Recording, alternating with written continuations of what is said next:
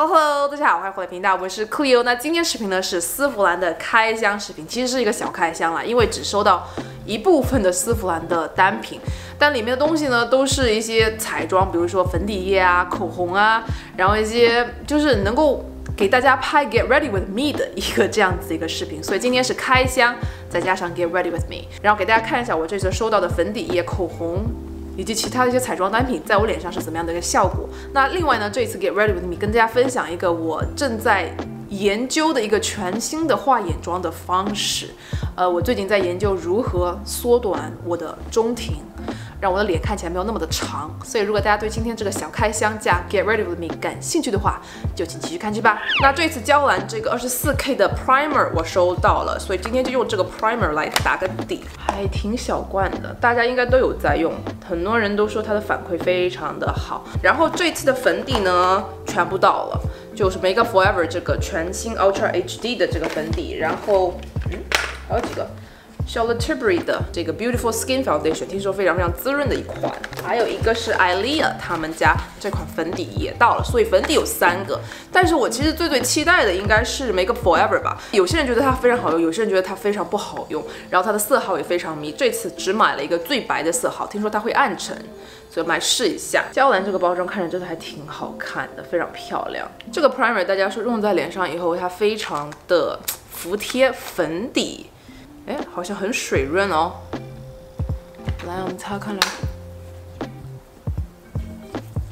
让我这个油痘皮感觉都挺舒服，但又很水润。它瞬间的被皮肤吸收，然后脸上那层光泽感非常好看。它的香味真的好香啊，就是那种贵妇级的品牌的那种花香在，呃，但是不会齁人。然后整个皮肤上完这个打底以后。润度以及脸上的光泽感非常好看。现在触碰脸的话呢，会有一点点的黏腻感，但是不是那种很厚重、很油腻的感觉，这个还挺清爽的。那接下来就是粉底，然后 Make Up Forever 的这一款，这个手感拿在手里有点胖胖的，很可爱的感觉。凑近给大家看一下它在瓶身里的粉底的颜色，跟我皮肤做对比的话，是不是感觉有一点点白？哦，它挤出来不是特别特别有那种很强的流动性的。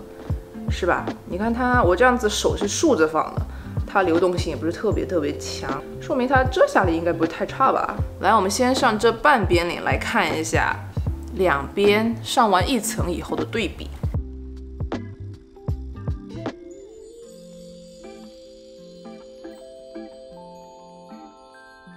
上完一层以后，脸上是这样子的，明显这边就提亮了。我这边脸的瑕疵呢会稍微少一点，一层以后基本上感觉，如果不是很凑近看的话，感觉瑕疵不是特别明显。然后我发现这款粉底啊，如果你点上脸以后，你必须要快速的去拍开它，不然它会好像有点在你脸上冻住，然后它干的还挺快的。来，我们把整张脸都上完，零零号刚拍开的时候，我真的感觉我是拍了一块。肥皂在脸上吗？你看刚上完，我觉得自己像个电灯泡一样的脸。刚才我这边脸是比较暗沉，然后也是瑕疵比较多，特别是这一块，我觉得它的遮瑕力以及均匀肤色的效果还蛮好的，整个人看起来皮肤就瞬间比较干净。然后再着重这一块需要遮瑕，鼻子上啊遮瑕的地方，稍微再遮一下。然后我上单单这么一层多一点点，感觉它效果其实也挺好的。自己脸上最近也是有一些红血丝啊，下巴一些红点。然后也被遮得挺好的，虽然就是粉底比我白了，但是凑近看的话，也不是特别特别明显，因为我是对着镜头很近很近。但如果这样离远的话，好像看不出来。只不过这个脸的颜色是真的超白哎，这个粉底液我觉得不知道它会不会暗沉，希望它会暗沉吧。如果不暗沉的话，一直保持这个。白的要死的颜色是不是有点吓人呐？希望它会暗沉吧。我还是第一次希望一个粉底液会暗沉，那也是也是醉了。既然说到粉底液，突然想起来，我其实想要给大家看一下我今天这次买的这三款粉底液，它的颜色和它和它们的质地是怎么样的。最左边的是 Make Up Forever。这边是 Ilia，这边是 Charlotte Tilbury，然后我们把一个个抹开来看一下。这个呢是我这三个粉底这次买到的颜色对比以及它的质地上的差别。感觉 Charlotte Tilbury 这款的颜色会更加适合我，不过我觉得看上去好像颜色要变暗沉呀。刚刚上手怎么有点暗掉了？Charlotte Tilbury 这款我已经抹开它很多很多次了，它的光泽度还是这么的好，完全的那种水光肌。然后你看其他粉底液就不会有那么透亮的光泽。那 CT 跟 IDEA 的粉底液呢，会再出其他的视频来跟大家测评一下我对它们的使用感受。Bobbi Brown 的这个维他命 Face Base，我自己这次买了一个小装的，看一下它到底有多小，就还挺小的。它正装会比这个大很多，感觉它这个小装稍微有点太小一点吧。那这个包裹里面唯一收到的一个护肤是 Pharmacy 的。这个百分之十烟酰胺面膜这次到了，它自己里面呢还附带了一个这样子的一个透明刷子。哇塞，我觉得它这个颜色出来好好看呀，非常非常的治愈型的那种蓝紫调。单看它这颜色就这么治愈，不知道它用起来会不会好用。今天晚上直接试用一下。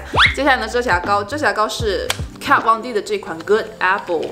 Lightweight Concealer，呜，它拿出来挺好看的。泰邦蒂他们家包装感觉看上去就很简单大方。我这次选的色号呢是幺零五，它的头呢是这样子一个设计，一个斜下角的弧度在那里。这个颜色对于提亮来说，我觉得特别适合我这样子肤色的比较偏黄一点底色的皮肤。它虽然水，但是就这样擦开来以后，整个遮瑕能力还挺强的。眼下。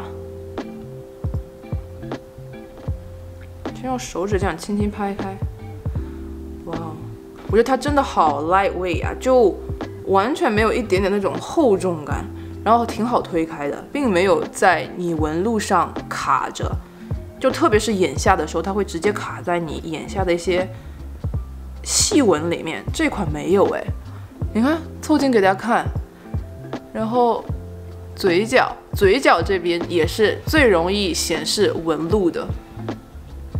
或者是显干，你看嘴角这边也非常好看的被提亮起来。嗯，我觉得它还挺容易被推开，并且被皮肤很好的就吃进去了。然后法令纹这一次就被遮得很好，感觉脸部就这一块变得非常有年轻度、烹饪度在。这个遮瑕膏我真的好喜欢，脸上完全没有因为上了遮瑕膏有那种很粗糙、很浮粉的感觉。然后它跟皮肤融合的也很好，并没有卡细纹。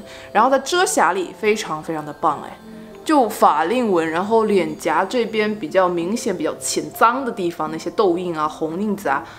都被遮的挺挺好的。这款遮瑕跟 Hourglass 那款 Vanish Concealer 比的话，它的质地会比 Vanish 更加水润，更加好推开。就不管你手指还是美妆蛋，都很快就被推开掉。然后整个妆感出来非常好看，会比 Hourglass 那款显得皮肤更加细腻。然后跟你粉底混搭了以后，整个毛孔出来是非常非常漂亮细致的那一种。给大家看一下我刚才在手上做的遮瑕。你看，我现在去蹭它，它的遮瑕，它的膏体也没有被我蹭掉，感觉还是非常牢固的扒在你脸上的。这款遮瑕真的是哇，太喜欢了。那蜜粉呢？这一次是用 Hourglass 这一款，我自己在丝芙兰视频里也推荐过。这五色盘真的是我自从买到手以后狠狠的在用，就算我用了这么多次，你看它里面，你看它上面也没有任何 scratch，就还是很完整的一个五花肉的花纹在那里。今天这个散粉什么就用这半边脸。看一下它最后是怎么样的效果，在散粉的扶持下，它是不是定妆，然后持久度会更加高呢？接下来这次我又回购了 Charlotte Tilbury 这个 Brow Cheat，这支眉笔呢，在我频道里出现，它真的是很多很多很多次了。就它对于眉毛上那种塑造性来说，非常非常的快，然后整个眉毛画出来很干净利落，很干脆，很硬挺，就比较有那种帅气感。然后特别是在画眉头的时候，我觉得它画出来的那种眉毛，你看一根根就很像刚才画的这一根，就很像自己真正的眉毛一样。电影呢会用到 Dior 这款六六九 Soft Cashmere，它的颜色呢是这样子的，看上去是不是还是比较偏向于那种银紫？灰调，那今天眼妆呢，应该是非常非常的日常，所有人应该都可以在家里自己去画的，然后用到的颜色也非常少，最主要的还是着重于下眼睫这一块，画出一个能够非常放大眼睛、缩小我中庭的一个妆容。那直接开始我们第一步，用手去触碰这边这个颜色，它自己自带的那种珠光非常非常非常的漂亮，这个颜色出来有一点点那种紫玉棕的。色调，所以今天呢要运用它上面这一层非常漂亮的珠光去打造一个比较轻薄的眼妆。上眼之前，在自己手上稍微搓一下，把它这个底色稍微蹭掉一点，然后再画在眼睛上。我们今天主要的就是借用它的这个珠光，非常非常闪的珠光和一点点它上面的这个底色，来做一个眼皮上的铺垫。这一步完全不需要你去用任何刷子，只用单单靠手就可以画好了。那画完这个颜色以后，给大家离远一点看，是不是感觉整个眼眶，就眼睛和眉毛这一块？上眼皮的部分，整个框框就凹进去了，眼睛看起来特别特别的深邃。然后大家看它上面的那种珠光感，就好像你上了什么高光膏一样，是不是？整个妆容上面是非常透亮的，非常薄。用一把稍微扁平一点的刷子触碰这个颜色，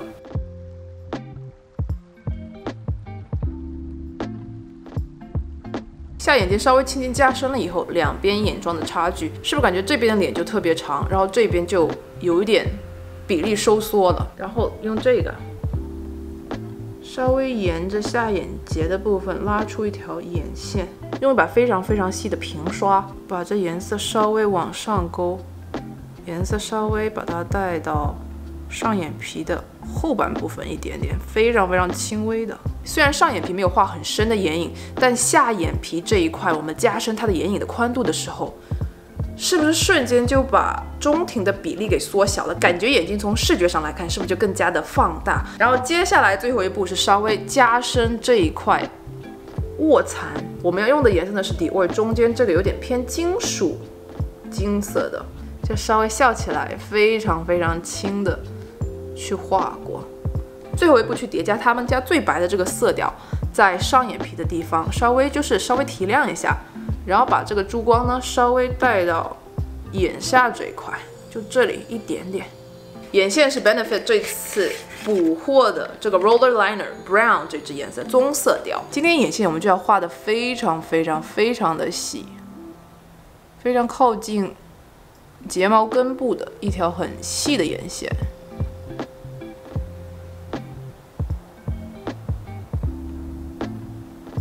那整个眼妆画完就是这样子，感觉是不是整个眼睛看起来比较有灵动感？因为上眼皮没有画很多眼影，然后有很多珠光感在那里，是不是感觉眼皮上就很透亮？腮红这次我要用 Laura Mercier 这一款 Ginger 这个颜色，好久没有用这颜色了。今天的妆容特别适合这样子的一个颜色色调。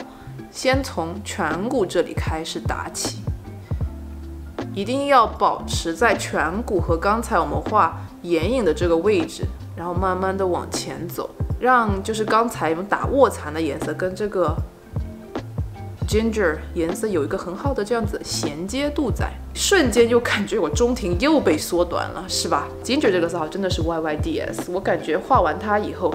妆容看起来有一种日杂感。OK，那我先去换一身衣服，戴个耳环什么，稍微看起来就稍微正式一点。因为我们接下来要尝试四支新的口红，我这次收到的。Hello，大家，我回来了。那我们接下来试一下 Dior 的这支 Addict，开始是滋润版的唇膏，颜色是五三幺这个色号。这一次它拿出来的包装是这样子的，我以为它是圆形的，其实它是一个方管。跟它在以往一些包装比的话，我更加喜欢这一支，它也是像那种拔出来的。然后七三幺它颜色是这样子的，哇，好好看哎，是不是有点芬达汽水的颜色？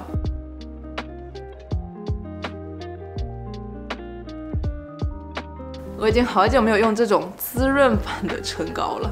这颜色画出来，我觉得在手上它可能会橘色调更加明显，在嘴巴上这个橘色调稍微被吃了一点点，然后颜色稍微被压下来，没那么明亮了。就在手上的试色跟我在嘴巴上是不是有一点点颜色上的差距？远看的话，是不是搭配上今天整个妆容以及腮红以后，整个妆容看起来是很干净、很简约、很大方的？就所有的妆容都没有一个特别突兀的地方，所以搭配在一起，我就看起来非常的舒服。大家可能觉得在手上它看起来。会有点荧光感，但你看在我嘴巴上完全就不会。它的质地也很轻薄，颜色还蛮显色的。就我刚才上了两层，两层可能还不到。它颜色出来就是这样子一个色调，然后呢是底味两支口红，一个是两百号，这个是丝绒质地的，另外一支是三幺四，三幺四这支是完全雾面，两支颜色出来好像有一点接近，但又不是很接近，是不是？他们家丝绒质地的膏体真的太好看了吧？两支颜色画在手上以后，差距还是蛮大的，这支是三幺四，这支是两百号，两百号会更加偏奶茶棕，哎，三幺四会比较偏橘点。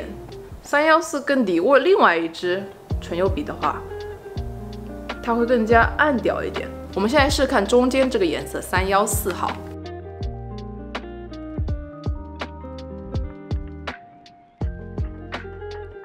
我觉得画在嘴上以后，因为它是雾面的质地，整个妆容看起来会更加干净。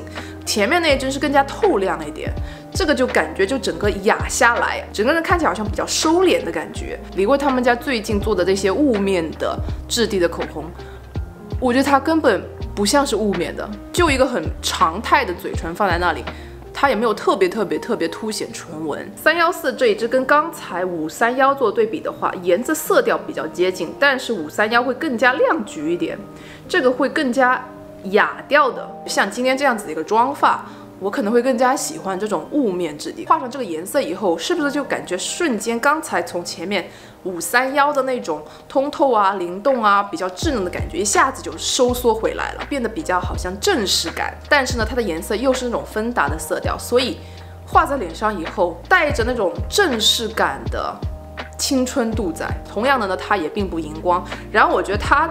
对于妆容的那种搭配性度上来说，还是挺大的。不管什么样的妆容，你都好像可以去搭配这样子的颜色色调。底味的最后一支两百号，它是这边最最棕、最最奶茶的颜色。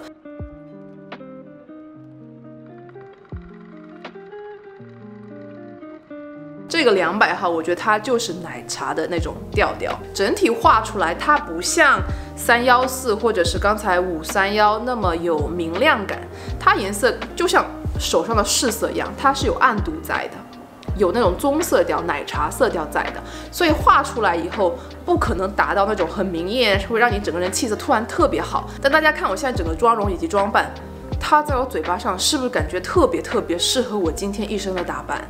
就我刚才换完衣服以后，我就在想，今天嘴唇应该是会比较适合于那种稍微裸调一点、稍微奶一点的色调，这样子才会让整个妆容看起来更加有日杂感，更加高级，知道吧？然后刚才前面用到的那两支呢，会更加偏向于橘调一点，然后它的红度呢会更加饱和一点，但是这一支就完全把这一整套妆发的那种气势感发挥出来了。然后现在灯光暗了嘛，你看这个颜色在我嘴巴上，也没有让我的脸看上去非常的暗沉。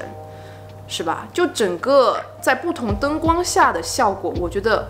颜色出来效果非常的好看，这个颜色出来就是有一点点那种杏仁红茶调，奶奶的、裸裸的，但是又有足够的红调和橘调来让你整个气色变得非常的好看。哎，这支颜色我觉得是最最符合我今天妆容和打扮的一个颜色了。然后呢，我们还有最后一支是 Armani 他们家的，Armani 他们家这个 Longwear Vivid Color Lipstick，去年的新品还是今年的新品啊？颜色是二零幺，这个颜色应该会更加偏红调一点，感觉好滋润啊，它跟。底味的那几个颜色完全不一样，镜头里为什么这么的红啊？看着像牛血红棕调哎，但它本身没有那么的红，轻轻薄擦一层是这样子的，是一个蛮正的红棕调，就单单擦一层的情况下，它红棕调还是那么的明显。我觉得它深擦了以后，应该会是比较一个有气势的颜色。那两层以后呢，它会更加适合秋冬这个季节，不像刚才那么的轻薄，整个红棕调马上就跑出来了。就这个颜色跟前面那三支比的话，又不同的风格，看起来是不是有一点点那种小 sexy 的感觉？这支颜色对于秋冬来说的话，我还蛮推荐的。但对于春夏，就现在这个季节，我觉得有点太闷了一点啊，所以大家可以看一下。不过它这个颜色出来是真的好看，你看。不管是远看还是近看，那今天看了四支不同颜色色调以及不同质地的口红以后，我不知道大家在这四支当中最喜欢哪一支？我觉得目前来说，我的排名第一应该是两百和三幺四这两支吧。嗯，我觉得他们是那种无论什么季节都可以去画，都可以去搭配的两个色调。那今天用到这一系列产品当中呢，除了这几支口红我都还蛮喜欢的，我觉得更加喜欢的是这个遮瑕膏哎，我觉得它遮瑕效果真的贼好哎，就整个脸上现在呈现的。效果脸上也完全不卡纹，然后法令纹的遮瑕度也非常的高，完全没有脱粉的现象出现。我非常喜欢它在我脸上出来的那种妆效上的干净度，作为一个遮瑕膏上来说，并且它非常高遮瑕，也非常好推开。这我觉得是一个蛮难得的一点，它不会陷在你那些纹路当中，然后它的颜色又非常适合我的肤色，幺零五号色。加完他们家这款妆前打底，我自己还蛮喜欢的，我感觉它整个妆容给我维持的非常的好，然后肤况非常的服帖。嗯，我还挺喜欢的。那今天用到的这款 Make Up Forever 的粉底呢，我觉得它这款粉底也是必须要去定妆的。就从目前四个小时的妆效上来说，这边脸我是定过妆的，这边脸我是没定妆的。我觉得这边脸的妆效看起来会更加完整一点，它皮肤的状态啊，然后遮瑕度啊，都还维持的挺好。然后这边脸呢，脸中这一块，我觉得会有一点点浮粉出现哎。然后鼻子。我觉得鼻子有一点脱妆了，鼻子上的一些瑕疵、一些毛孔都跑出来了，感觉它这个粉底一定要你去定妆。然后颜色上来说，我觉得它并没有很明显的暗沉哎，在我脸上就四个小时以后没有很明显的暗沉。就还是维持着它那个比较白的色调，可能现在来说再加上一些腮红啊、修容啊，整个人的颜色看起来会更加融洽，不像刚开始那么平。然后现在感觉脸上该凸的凸出来了，嗯，我觉得总体的颜色来说稍微白了一点，但是可以接受，零零号可以接受。我今天没打高光，脸上的光泽感就是这个粉底液自己透出来的。所以光泽感上来说，它还是挺好看的。遮瑕里除了鼻子以外，其他地方都遮得挺严实的。那以上呢就是今天要跟大家一起分享的丝芙兰小开箱，再加上我的 Get Ready with Me。如果大家还没有订阅我的频道的话，不要忘记点击下面红色按钮订阅我的频道哦。那我们就下期再见喽，拜拜。那以上呢就是我今天要跟大家分享的丝芙兰小开箱，以及一个 Get Ready with Me，跟大家尝试一下这次收到的彩妆单品，它们在我脸上效果是怎么样的。然后如果大家还没有订阅我的频道的话，不要忘记点击下面的红色。次按钮订阅我的频道哦，那我们就下期再见喽，拜拜。